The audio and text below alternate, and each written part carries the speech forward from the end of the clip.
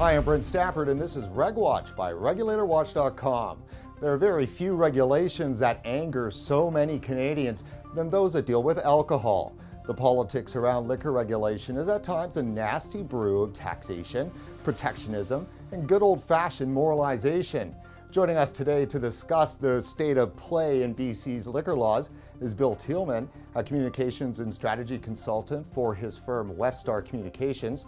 He is one of BC's top political columnists and a former communications director to the BC Premier when the NDP held the reins of power in the 1990s. Bill, thanks for joining us. My pleasure.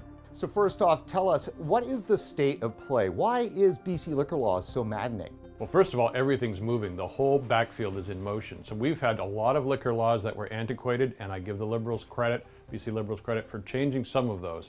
Uh, other things, however, are going in the wrong direction, and we're seeing a lot of higher prices. We already have probably the highest prices, or among the very highest prices in North America, not just in Canada.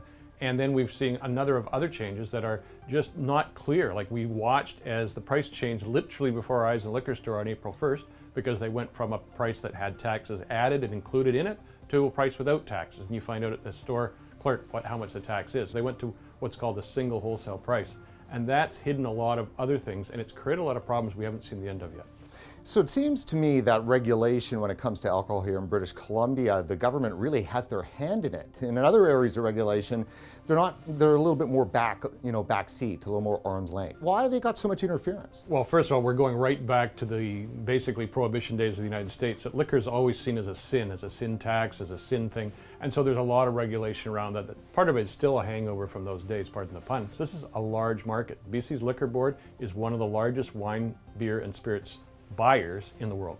Now, that's amazing. I've heard that before. Give us some scope on that. I mean, why is it so big? Are, do British Columbians just like to drink more? Well, we have a mixed system. So we have government and private stores, and that's happened over time in the last 25, 30 years.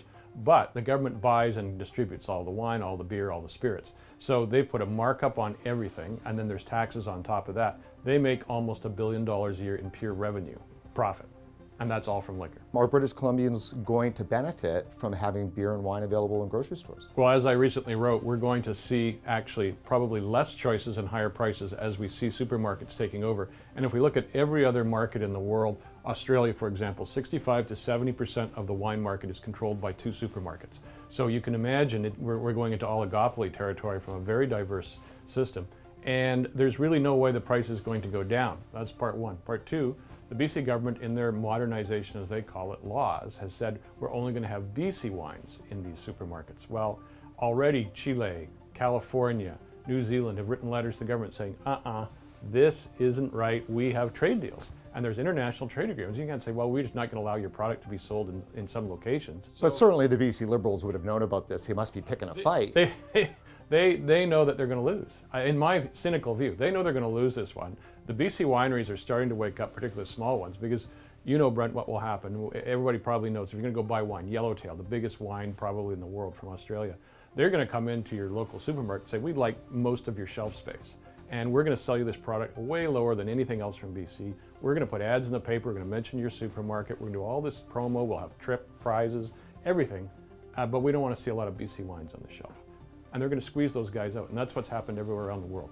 Yeah, in Ontario, uh, they're just finalizing and moving forward on the beer going into their grocery stores. Mm -hmm, yeah. Well, I think, I mean, I think it's probably an inevitability in the long run, and, and certainly there's no way BC is going to keep out other producers. There's just no way that's going to happen. So, but I, the concern that I have is I think people are given, being given a snow job if they think they're going to find, oh, it's, it's going to be like Safeway in the United States or something where you can go in and buy some cheap wine. No, it won't be cheaper. It'll be more expensive There'll be less choices, and you'll be sorry in the end of this process, but no one's telling you that, except me. well, and you've been pretty loud about it too, which is good. And people, let me ask you that. How has the response been from the people who've been reading your columns? Um, are they getting it that, that they're getting bamboozled or? Oh yeah, Pe people know that they're being hosed on booze prices in every way, whether it's in a bar where the happy hour price went up, whether it's in, uh, you know, when they hear about corner stores, they're thinking, oh, that'll be convenient, and then they, oh, wait a minute, I'm gonna pay more. And you know, the best way I could actually show you how you're being bamboozled, Brent, is to grab this bottle of wine from over here. This is one I wrote about recently. Beringer Knights Valley Cabernet Sauvignon. I was down in San Francisco. I went to the corner store, nondescript, $17.99. That's about 24.06 Canadian. This bottle of wine, regular price in BC, 49.44. Wow. Over double the price. BC government didn't grow the grapes, they didn't fertilize them, they didn't pick them, they didn't vent them, they didn't cork the bottles, they didn't make the labels, they didn't do anything except take it from California, put it on the shelf and sell it. That's double the price. Is it fair to say, knowing you and, and knowing your writing, is it fair to say that you're a little left to center? Oh yeah, absolutely. Are not the high prices then the price we have to pay as British Columbians for good health care and education and all of the other things the government pays for on our behalf?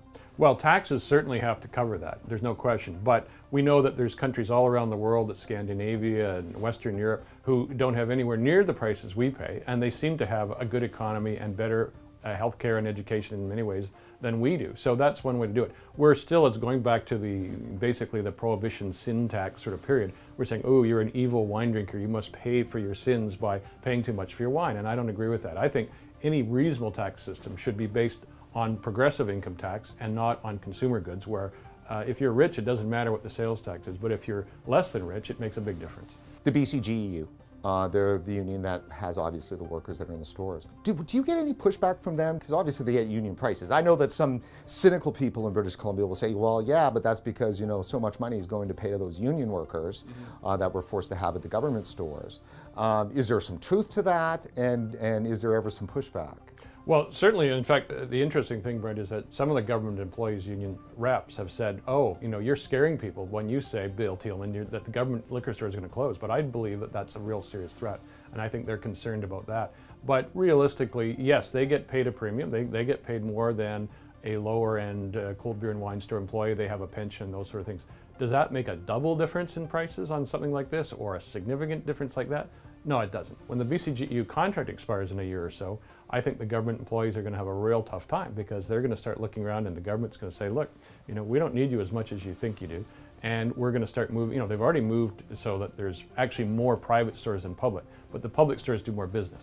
So we're going to see what happens there. But I think the BCGEU has to be quite concerned about what's going to happen down the road. And I know that its employees, I talk to a lot of them. I'm a wine guy, I'm a wine collector. I, I go and shop in all sorts of stores, private and public talk to people, and the government employees are very nervous.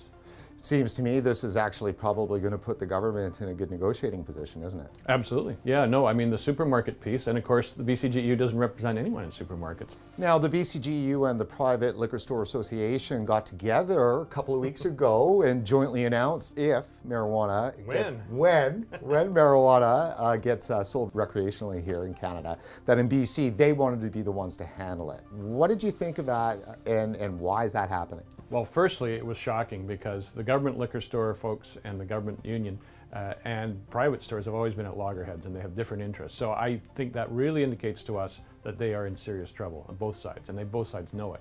So I think that was the first observation I made. Secondly, I, it makes a lot of sense. I mean, I don't think it's a bad idea at all to say, okay, we've got people who are already regulated, they have to be uh, trained and they have to have certain standards for selling liquor whether it's private or public, why not just add that to the marijuana to that and say, okay, you know, we've got the system that works here. But it, you know, it's obviously self-serving, but it also actually could serve a good purpose. What does the future look like? I think the future looks like higher prices, fewer choices. If, as we've seen everywhere else in the world, 65 to 70 percent of the market is going to get controlled by a few supermarkets. The government liquor store stuff, all of that is gone. They're going to be decimated. The private stores will be decimated. Uh, we'll see basically very few private or government liquor stores at all, and we'll all supermarkets.